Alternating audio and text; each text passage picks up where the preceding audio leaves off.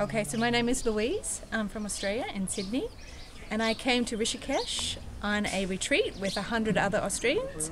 So we donated all of our excess blankets and things to Ramana's orphanage. So we had four loads of it, and I turned up here with it one night and got to know a couple of the people who ran the place, like Prabha and Cheryl, and found out that they needed some help. So I came to volunteer and I ended up spending some time in the cafe, which wasn't what I was planning to do on my stay in Rishikesh, was to work in a cafe. But um, it's been lots of fun because I get to a look at the cows.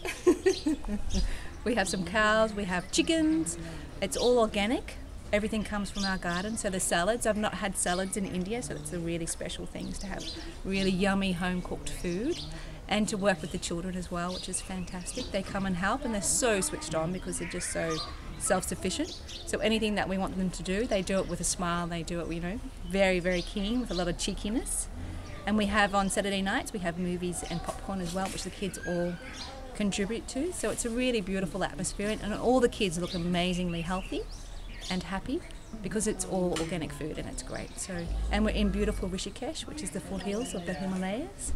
So it's where all the yogis, saints, sages, and rishis have lived for thousands of years. So it's very special to my heart. I feel like I'm at home. So, so I'm loving my time here. I really would really like to stay longer, but I'm already extending my trip for another month. So we'll see see what happens. I leave it up. I surrender to what happens.